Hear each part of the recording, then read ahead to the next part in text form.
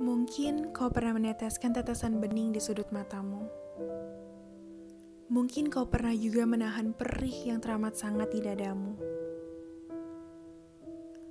Atau mungkin kau pernah menangis terseduh di sudut kamarmu. Dan semua itu karena aku. Karena lisanku. Karena ucapanku. Karena perbuatanku. Karena tindakanku. Karena hilafku karena ketidaksengajaanku, atau mungkin karena kesengajaanku.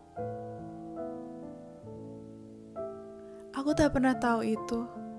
Aku hanya manusia, manusia yang penuh dosa, dan terkadang lupa akan apa yang telah diperbuat dan diucapkan. Maka, di hari yang suci ini, izinkan aku Eka Pratiwita Avanti mengucapkan minal aizin wal faizin, mohon maaf lahir dan batin, dan dari lubuk hati yang paling dalam, ampuni semua segala hilaf yang pernah aku lakukan.